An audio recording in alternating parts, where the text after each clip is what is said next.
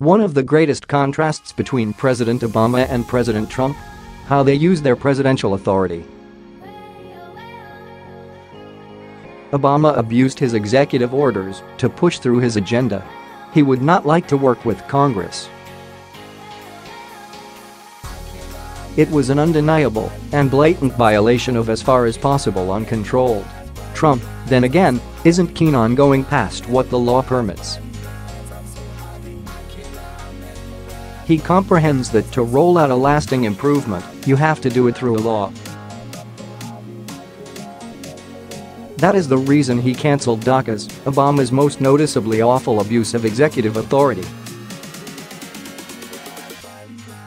Presently he's influenced it to clear, he won't sign any orders broadening the disputable program.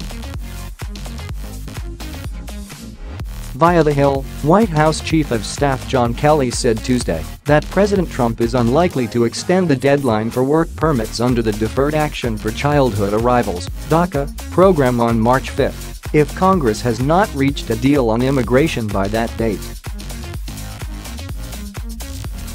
Kelly told reporters on Capitol Hill that he was not so sure that Trump had the authority to extend the deadline because the program was not based on law, The Washington Post reported.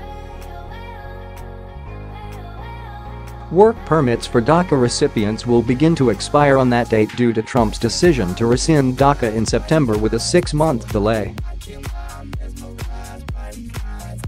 Would you have ever listened to these expressions have Barack the ends justify the means Obama? Barack never waste a good crisis Obama no, and this is what's in question. There are 690,000 official DACA recipients, and the president sent over what amounts to be two and a half times that number to one. 8 million, Kelly continued. The difference between 690 and 1.8 million were the people that some would say were too afraid to sign up, others would say were too lazy to get off their asses, but they didn't sign up. Obama terribly overstepped his limits when he issued DACA. He declined to work with Congress to give an enduring solution, legitimately and inside the limits constitution. It's the reason we are confronting the issues we have today. Obama's fretfulness and short-sightedness left us with the present emergency.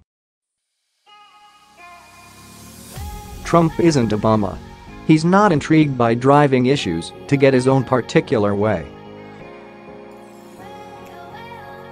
He wants lasting fixes for our sickly nation.